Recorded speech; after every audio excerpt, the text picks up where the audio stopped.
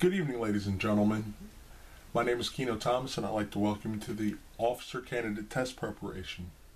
Today's question is going to come from the Math Knowledge section of the Officer Candidate Test. And the question is asking us to arrange these fractions from largest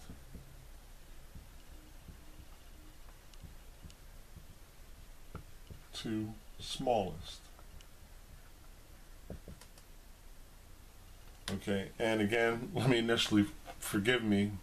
My screen recorder is down, and we're just doing it like this right now until we get it back up. We will revisit these and, and, and re edit the video so you have crystal clear writing and stuff like that. But the important thing is that we get the information out, and that's what we're doing. So we're pressing on here. So our fractions that we're going to arrange from largest to smallest are one third, two fifths, and four fifteenths. Four fifteenths. Okay. Now, just by looking at these, um,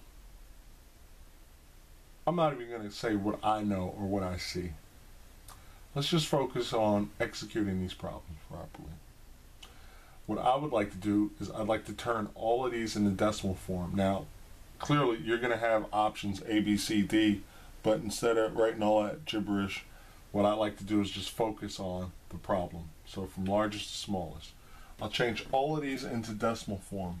1 over 3, which is about 0.33. Um, 2 over 5,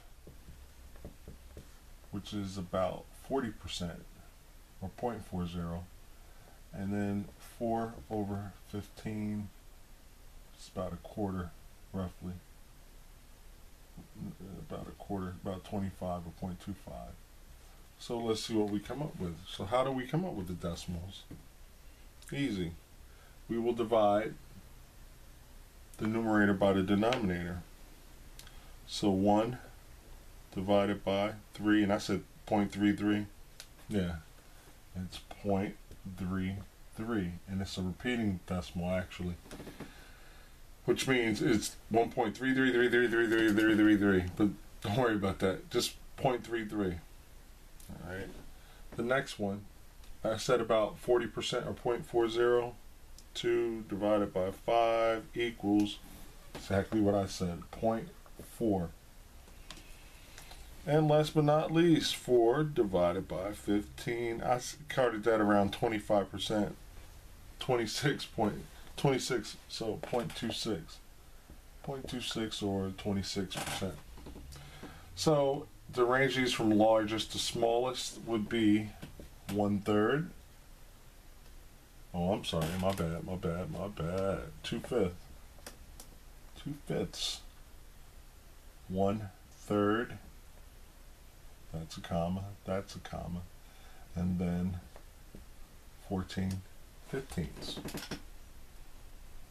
Alright, because 0.40 we just keep these all. So just look at this 40, 33, and 26. Don't even look at the decimals. Just 40, 33, and then 26. So 2 fifths, 1 third, and then uh, 4 fifteenths. So this is our final answer. Our fractions from largest to smallest.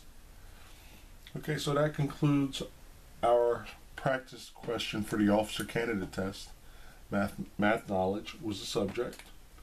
Um, please like and subscribe if you have any, if you know anybody, if you or anybody you know is preparing for officer candidate test. Just like and subscribe. There are going to be tons of videos coming. I'm going to keep them coming, keep hammer, hammering them out, and giving you nice strategic ways to execute these questions so you can score an awesome score on these. So this is Kieno Thomas. I thank you for watching. Good night.